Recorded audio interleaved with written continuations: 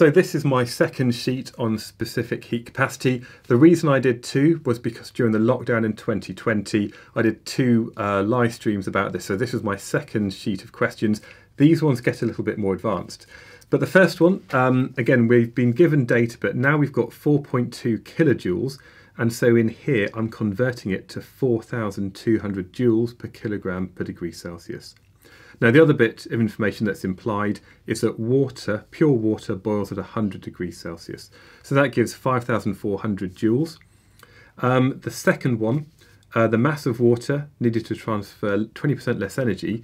What I've done is I've divided 1.5 divided by 1.2. So that's how we're going to make it 20% less, which is 1.25.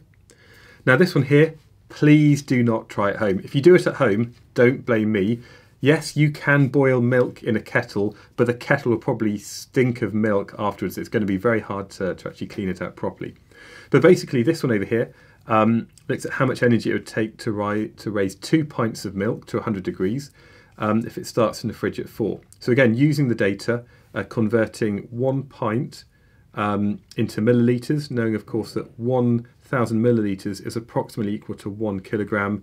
Uh, this gives a value of 4,003, sorry, 430,000 joules. The next one, um, it's a kind of a two-part calculation. The first bit needs to look at the energy transferred, and this is where you need to remember that power is equal to energy divided by time. So if we know the power and we know the time, we can then work out the total energy transferred, and then we can then use this to find the specific heat capacity is about 380 joules per kilogram per degree Celsius. This is a lot lower than water. Water has quite a high specific heat capacity.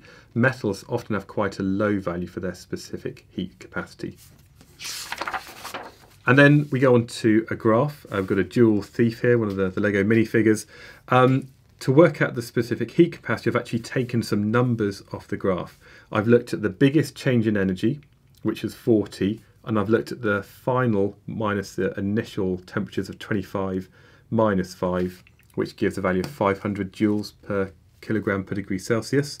But if you had something where you had 6 grams rather than 4 grams, we've now got one and a half times much as, as much mass, so we'd have a reduction in the final temperature because that same amount of energy is heating up more stuff. In actual fact, if you did the calculation, you'd find it ends up at 18.3 degrees Celsius. So we still have a straight line, just with a lower gradient.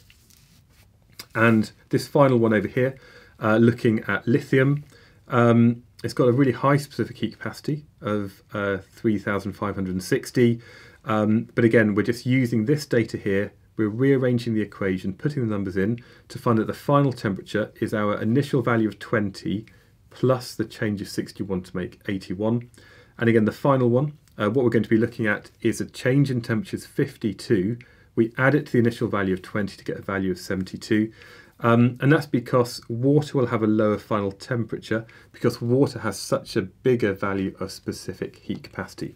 So some quite advanced questions here, but hopefully if you can do these, you can then do any possible question you may ever be asked at GCSE about specific heat capacity.